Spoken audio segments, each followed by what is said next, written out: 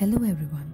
Today I have chosen to post this video of DIY wreaths because it is 22 days until the arrival of the Savior.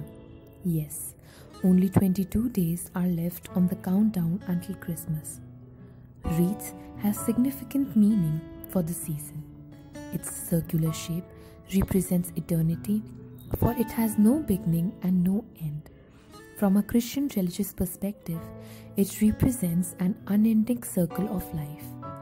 The evergreen, most frequently used in making wreaths, symbolizes growth and everlasting life.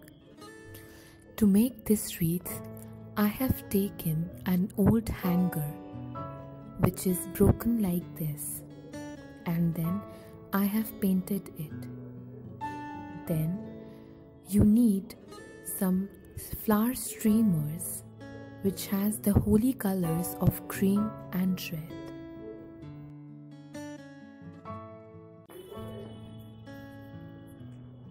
Now I'm going to shape it in a circular way.